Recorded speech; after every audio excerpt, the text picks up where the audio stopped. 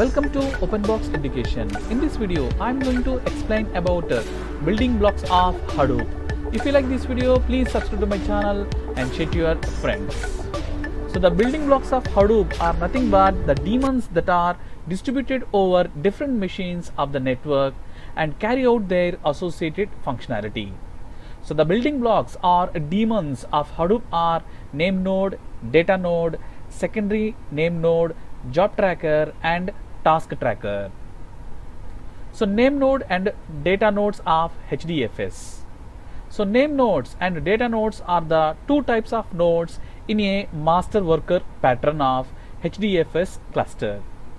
So name node is the master which messages the entire namespace of the file system, while data nodes are the workers and are considered as the workhorses of the file system. So in this the name nodes manages the file system tree and stores the metadata for all files and directories in the persistent storage. It uses two files for this purpose. They are namespace image and edit log. So name nodes have the information of the data nodes which store all the blocks of information pertaining to a, a specific file.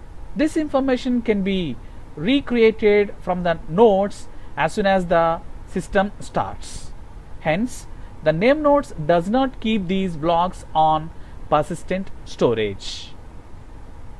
And next coming to this data nodes. So data nodes store and retrieve the blocks of information upon request. They also generate reports to the name node whenever they store blocks of information. So this node is uh, responsible for carrying out the operation allocated to it by master mode. They typically perform read and write operation between HFDS blocks and local file system. These operations involve splitting of files into blocks distributed over a different data node according to the instructions provided by the name node. So this is about that data node. And after this, the client will be able to connect with their respective data nodes to carry out their functionalities. So these data nodes perform internode communication to carry out replication on at least three data nodes. So here within this diagram we have the three nodes will be there A, B, C. So at least uh, three data nodes will be there. So by using replication it is possible to make the system available even if some blocks gets corrupted or deleted. The information regarding information contained with, within a data node gets updated periodically on the name node to carry out further operations correctly. And next one is that secondary name node. Secondary name node is used for merging the namespace images with edit log. This integration is done so as to prevent the edit log from increasing its size. So the secondary name node basically run on a separate physical machine. So this is because merge operation requires significant amount of CPU and huge memory space. Beside this, a secondary name node maintain a copy of merged namespace images.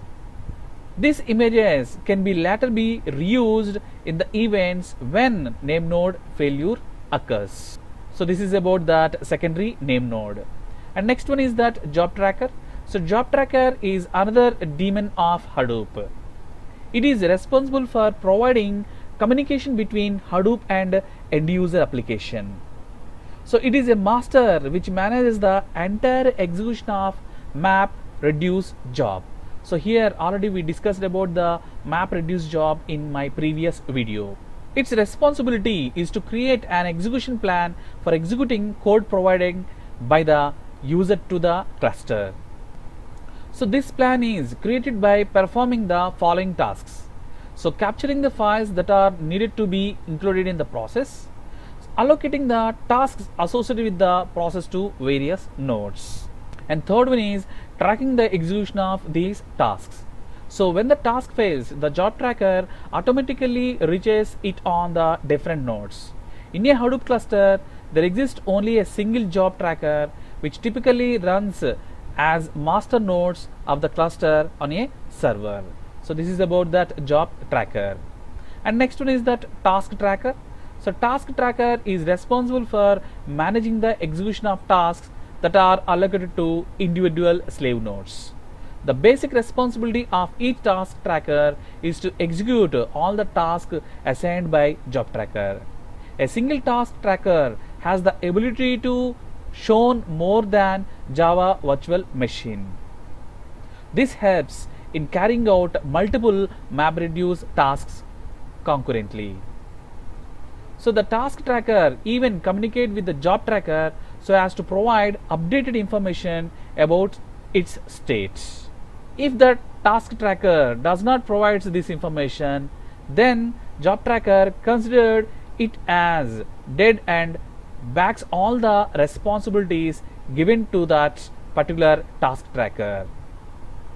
These responsibilities are then handed over to some other node in that cluster. So here we have the client will be there and job tracker. We have different nodes will be there.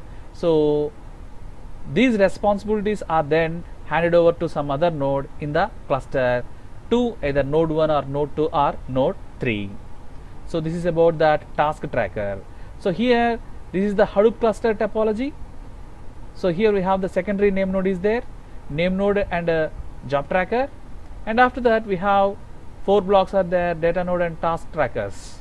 So this is a Hadoop cluster topology. Thank you very much for watching this video. To watch more videos, please subscribe to my channel open box Education.